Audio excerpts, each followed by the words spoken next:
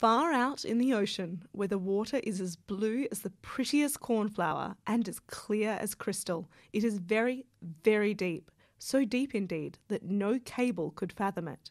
Many church steeples, piled one upon another, would not reach from the ground beneath to the surface of the water above. There dwell the Sea King and his subjects.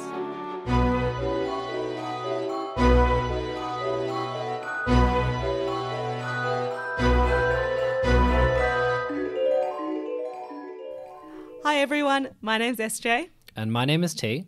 and we're Crumbs of Science. And this week, if you couldn't tell by the introduction, we are talking about The Little Mermaid. But not your Disney Little Mermaid. Gosh, no, that's way too pleasant. Instead, we want to talk about the original Little Mermaid by Hans Christian Andersen, published in 1837. Yeah, we're real hipsters like that. We're going for the uh, the OG uh, Little Mermaid. Now, often when we we've mentioned fairy tales on here, there's been heaps of previous versions and it's come through. But Hans Christian Andersen, I think, was a little bit more original than the Brothers Grimm because they just collected the fairy tales, whereas Hans wrote it himself. So there are some previous versions of this fairy tale, such as Undine by Friedrich de la Motte Fouqué, very fancy name, published in 1811, where a water sprite marries a knight named Hildebrand to gain a soul. Very popular German romance at the time. There's also a French folk tale, Melusine, where a water sprite marries a knight on the condition that he shall never see her on Saturdays, when she becomes a mermaid again. Casual Saturday, as you do. And there's also a theory that he was perhaps inspired by the occultist Paracelsus, whose full name, get ready for this one, was Philippus Aureolus Theophrastus Bombastus von Hohenheim, who was around till 1541, and he was pretty big in the medical industry, and he believed that sickness and health in the body relied upon the harmony of humans and nature. So if plants looked like part of the body, they could cure that part of the body. For example, one that I found was that orchid roots look like testicles, so they can cure any testicle associated illness, of course. And he thought that the four elements of a body had to be in line with each other, and the four elements corresponded to four elemental beings salamanders for fire, gnomes for earth, sylphs for air, and undines or mermaids for water. So these might have been some of the inspirations for Hans Christian Andersen, but also at this time, it was relatively well believed that mermaids were actually real, and we'll discuss that a little bit later. There was lots of evidence out there that mermaids existed. Many well renowned thinkers believed in mermaids, and there were even exhibitions of mermaids that would tour around England and around Europe at the time, displaying mermaids or mermaid bones or artifacts from mermaids.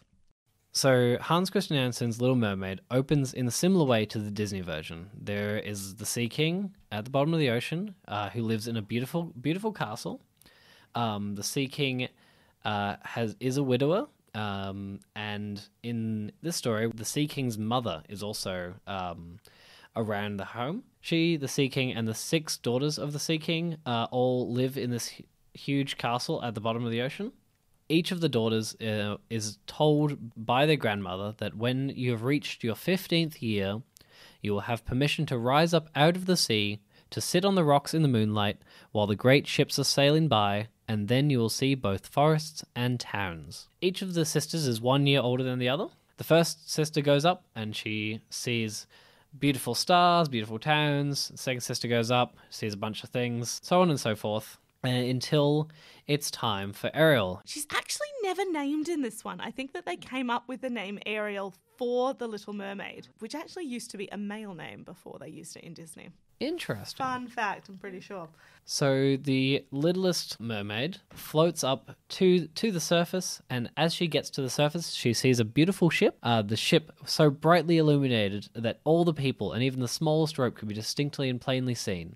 And how handsome the young prince looked as he pressed the hands of all present and smiled at them while the music resounded through the clear night air. But then a storm rolls in and picks the ship up and dashes it against the rocks. And during the storm, she finds the young prince who's floating through the water, uh, who's fast losing the power of swimming in that stormy sea. His limbs were failing him, his beautiful eyes were closed, and he would have died had not the little mermaid come to his assistance. She held his head above the water and let the waves drift them where they would. As soon as they wake up, she makes sure he's okay, and then she dives back into the water. He wakes up, and ha- but he has no knowledge of who rescued him.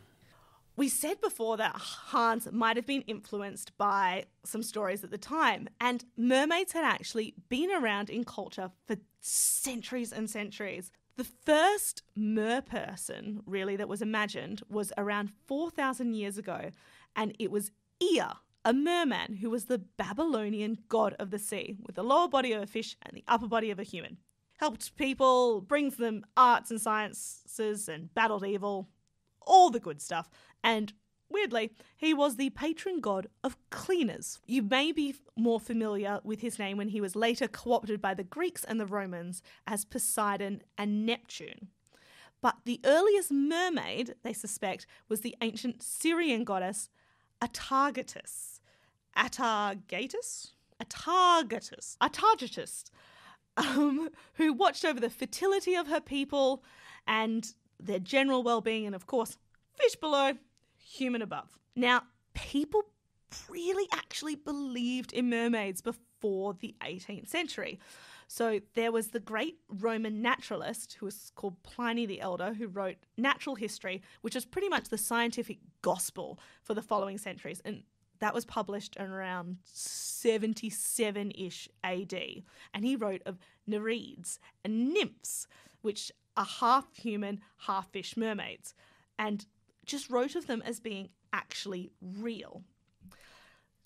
So the princess watches this happening and then she goes back home, but she is depressed. She is so lovesick and she pretty much just hangs out being lovesick. She eventually tells some of her sisters why she's so sad and they tell her where his palace is, which conveniently is right next to the water. Then there's a big party one night, and she has a wonderful time at this underwater party that she's attending until she realizes I can never be truly happy until I am with my one true love, the prince who has never met me and has no idea who I am. So she goes to see the sea witch. In this version, there is a very important distinction between mermaids and humans, not just the whole tail thing.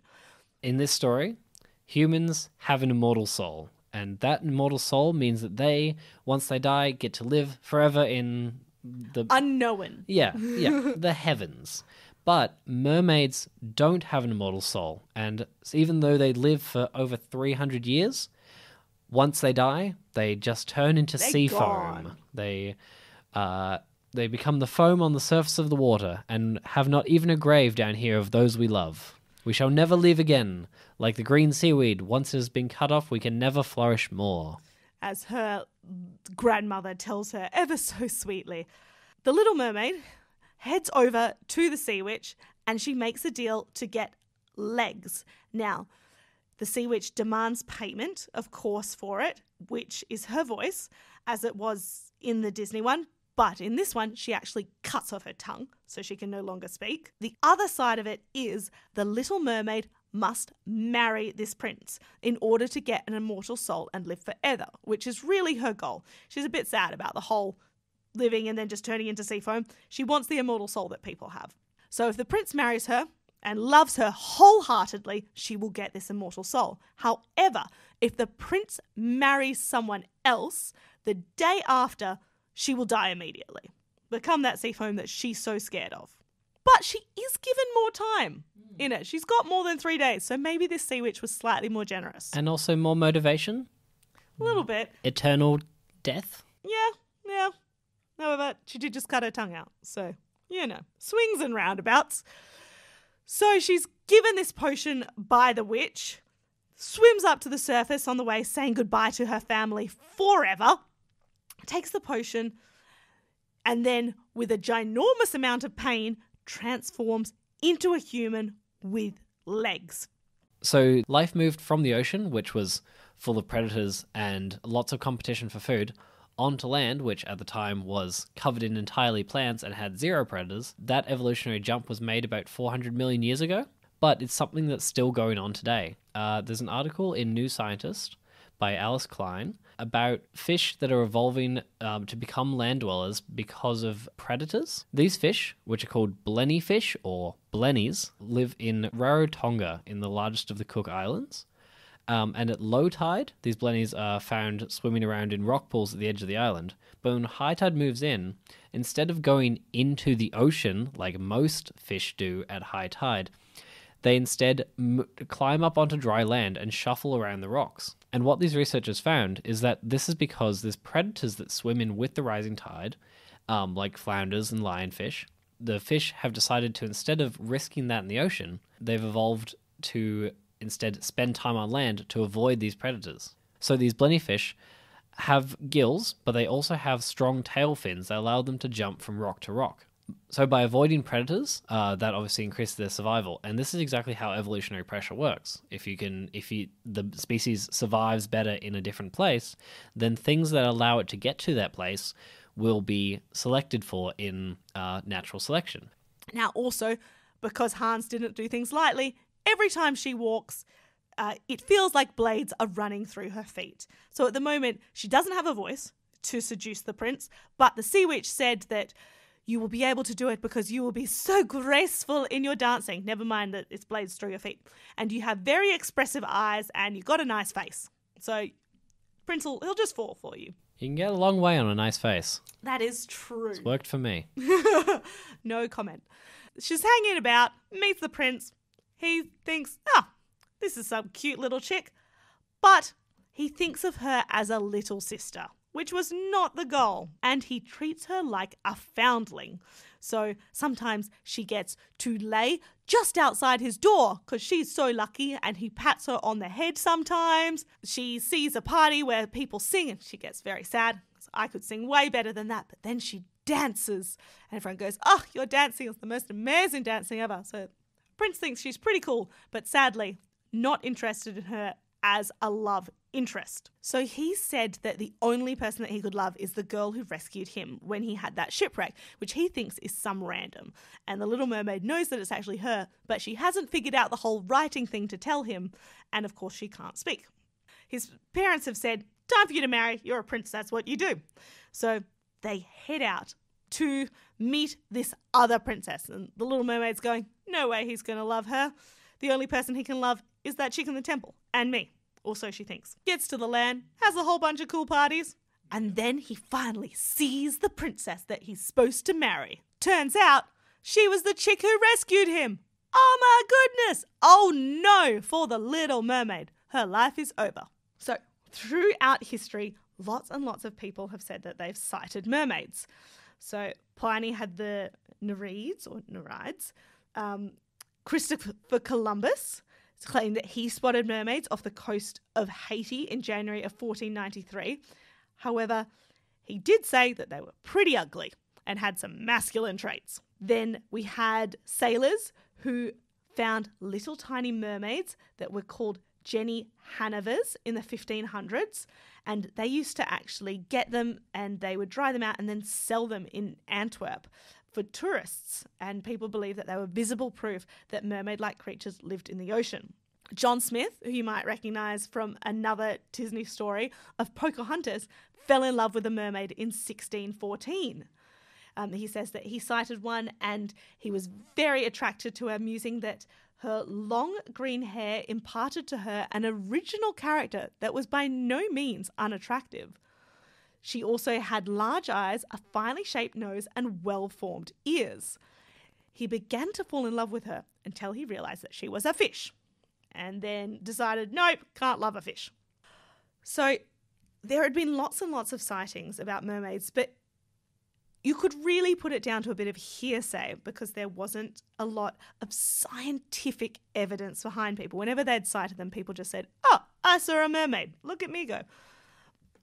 But then there were a couple of articles that came out in the 18th century, so in the 1700s, that were published where people had scientifically examined these mermaids. So there was an article which appeared in the Gentleman's Magazine. It was the 1700s. You're allowed to call things stuff like that then. Um, in December, which Jacques Fabien Gautier, who was a really prestigious member of the Dijon Academy and recognized for his skill in printing images of scientific subjects. He had looked at this mermaid, examined it, recorded everything about it, and then illustrated it in detail. To a lot of people, this would have then been considered almost incontrovertible proof that mermaids exist. There was a couple of other articles that then such as in the Mercure de France in April 1762, there was a story of two girls discovering an animal of a human form leaning on its hands. Um, not that pleasant. The girls then stabbed the creature and cut off its hands. But these hands were then examined by a surgeon. So, and they saw the web between the hands and the fact that it had a tail. And this, once again, because a surgeon was able to back the story, helped prove that mermaids existed. And in May of 1775, the Gentleman's Magazine again published an investigation into mermaids by a merchantman who was trading to Anatolia. And then it, he had some interesting ideas about these mermaids. Let's just say he was a bit racist. Um, and he encountered mermaids that had some broader features and then was saying that they were more like African uh, mermaids.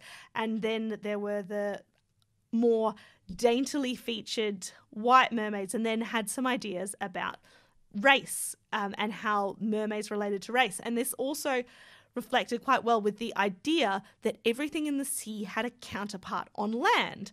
So you had seahorses to horses, sea dogs and so on to dogs, and then people had their own counterpart being mermaids. But they also had some really, they managed to find the equivalent of the clergy in the ocean, um, where they found a clergy fish because it looked like a cow, looked like it was having a cow. So this was discovered in mid 16th century by Guillaume Rondelet, and he found monks and bishops. So uh, we'll make sure that we put a photo up on the website. But they found, I I don't know if he realised that they're just clothing, so you can take them off. So perhaps the mermaid just reflected these other ones, and it was a profession choice rather than a a choice made for them, but he found mermaids that that looked like monks and mermaids that looked like bishops. So around this time, lots of people believed mermaids they were real. There were some people who held out on it, but many, many highly respected thinkers did believe that mermaids were real. So, having met this princess and fallen in love at first sight, they plan a wedding on a boat, and they uh, bring the boat out into the harbor, and they're going to do a beautiful, a beautiful wedding. Um, and the little mermaid is despondent; she's crying over the edge of the ship, and then she looks down at the ocean, and she sees her sisters all show up. Um, the sisters have also paid a price to the witch. They've given her ha- given their hair to the witch. I feel that's a little bit unfair. I feel like the Little Mermaid should have been given that option that she could have just had a crop cut Yeah. and kept her tongue. But this sea witch works in mysterious ways. I it think seems. that, I think the Little Mermaid just needs to get better at uh, bartering. But she, so her sisters uh, have sold their hair to the witch for a, a, a knife. Um, if that knife is plunged into the heart of the prince, when the warm blood falls upon the little mermaid's feet, the, her feet will grow together again and form into a fish's tail. And then she can return to the sisters to live out her 300 years before she dies and is dead forever. So they say, kill the prince and come back. In a few minutes, the sun will rise and then you'll die. The little mermaid goes into the prince's tent on the ship and she has the knife in hand and she's ready to stab the prince as he lays there with his new bride.